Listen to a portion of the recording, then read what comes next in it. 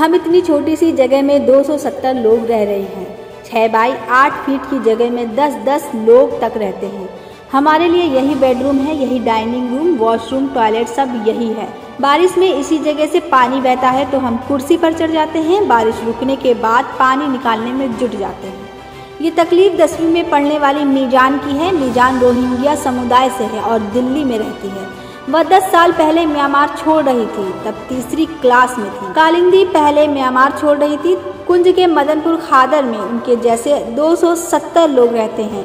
इनमें से ज़्यादातर 2012 में भारत आए थे। इस बस्ती में करीब पचपन परिवार यमुना नदी से सटी इस जगह में बसे। जैसे तैसे रह रहे थे।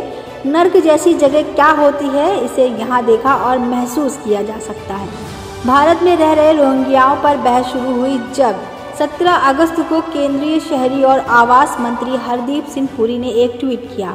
उन्होंने कहा कि दिल्ली में रह रहे रोहिंग्या शरणार्थियों को ईडब्ल्यूएस फ्लैट्स में शिफ्ट किया जाएगा।